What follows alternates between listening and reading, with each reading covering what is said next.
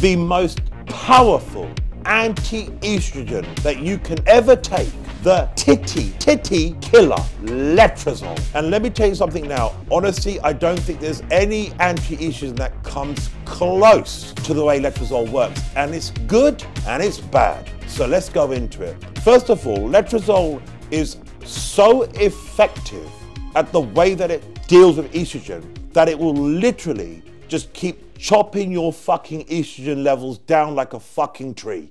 It literally just keep bringing them down. So let me tell you where letrozole is incredibly effective. If you've developed gyno, right, and I'm talking proper gyno, I'm not talking about where you look a little bit nipply. I'm talking about where, where you lift your arm up and you feel your nipple, there's like a marble under it. Now, at that stage, you will fucking panic. Do you want to know why? Because Nolvadex won't work, Arimidex won't work, Aromasin won't work. So you're left with what seemingly is the only option surgery. However, I have treated so many clients who have had gyno. I've treated my own gyno that I got where it completely I got, I got rid of the lump with letrozole. Letrozole is incredible for this. Taking one tablet every second to third day for only a duration of two to three weeks, you will literally see your pain in the gyno dissipate. You'll literally watch the lump get smaller and smaller by the day. So, in terms of treating gyno,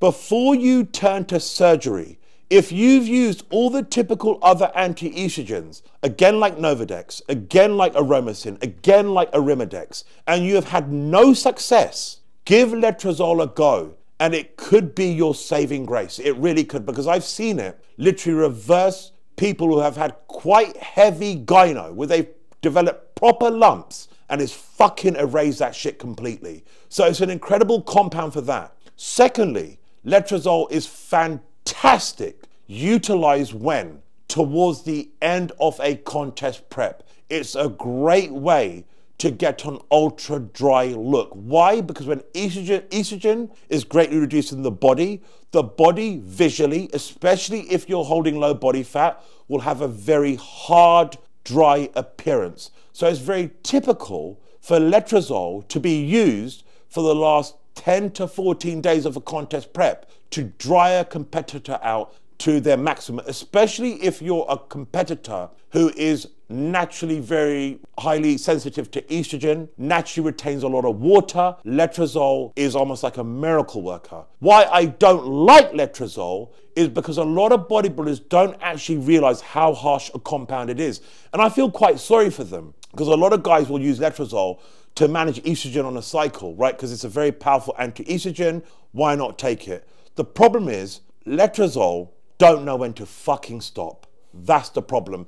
Letrozole will not keep estrogen at bay, like say an Arimidex or an Aromasin or a Nolvadex. Letrozole will just keep bringing your estrogen down. Mm. And what you've got to understand is low estrogen for that's been kept that way for a duration is just as bad as having high estrogen for duration. And what's bad is that when you're taking letrozole and it's just chopping away your estrogen levels like that, it will start to impact your cholesterol, which can then lead on to impacting your arterial health. So I do not recommend ever utilizing letrozole, right, as your regular sort of anti-estrogenic compound because you're asking for trouble. Typically, you only want to use letrozole if, first of all, you've got your blood work back and it's like, fuck me, my estrogen through the roof and I need to get it down quickly. Use a letrozole to get it down quick. Then use Aromasin or Nolvadex or, I don't even like Arimidex that much, but Aromasin or Nolvadex to keep it there.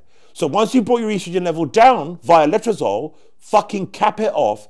And my ultimate anti-estrogen to cap it off, which is the most heart-friendly, is Aromasin, right? That is the best way to utilize it. But you do not want to be running it like as a standard anti-estrogen on your cycle because again it will just keep bringing that estrogen level down and it's going to cause a lot of issues the only time you want to employ letrozole is again when you're dealing with gyno and you need, you need to try and utilize something to fix that before surgery at the end of a contest prep or if you're actually suffering from severely high estrogen levels where you need to bring them down within range fucking quickly Outside of that, don't use it as a common staple. It certainly has its uses. It absolutely is the most powerful anti that you can get your hands on, but know how to use it and use it smartly. and you'll have a tool there that is just a great asset in your cycle.